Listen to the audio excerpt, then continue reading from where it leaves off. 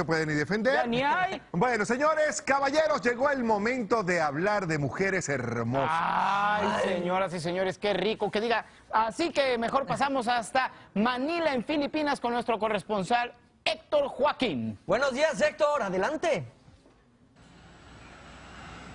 Héctor. Allí está.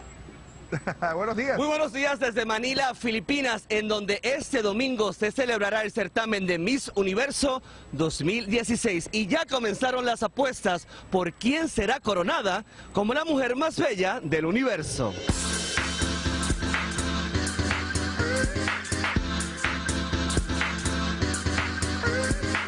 Cuéntame, ¿quiénes son tus favoritas aparte de Miss Venezuela? Eh, tengo tres. Tres. Mi Venezuela.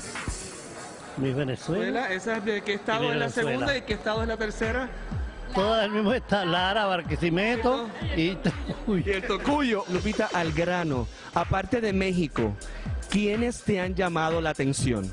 Tengo mucha fe a que el bloque latino dará mucho de qué hablar en la gran final. Bueno, yo pienso que la máxima de las representantes definitivamente Ecuador, nuestro Ecuador, eh, le ha puesto a México, Filipinas, Brasil y me encanta Estados Unidos también. ¿Colombia está gorda o no está gorda?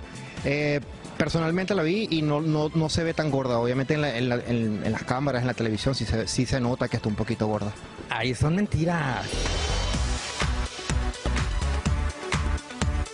¿Cómo fue ese encuentro con Dayanara? O sea, ¿qué te pareció? Wow, wow, wow, wow. Como que nos emocionamos porque yo sé que ella es un jurado y yo sé que ella está ahí haciendo una labor que ella obviamente la va a hacer muy bien y ella está neutral en todo esto, pero nosotros los puertorriqueños somos bien orgullosos y cuando- siempre que vemos a uno de nosotros en algún lugar que no sea Puerto Rico siempre nos alegra. Decirle la pregunta que te la tengo que hacer. Eran 15 semifinalistas y ahora son 12.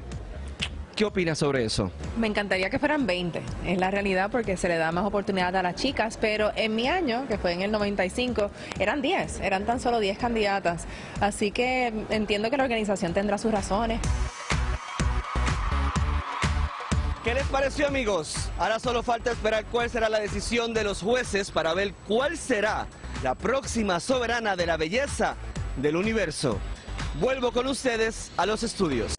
Por mi salud, por mi bienestar, porque físicamente, ¿Sabes cuánta gente que nos está viendo piensa exactamente lo mismo que ¿qué tú? hago? ¿Cómo hago para estar enfocada y lograr eso que, que me propongo? Hay un punto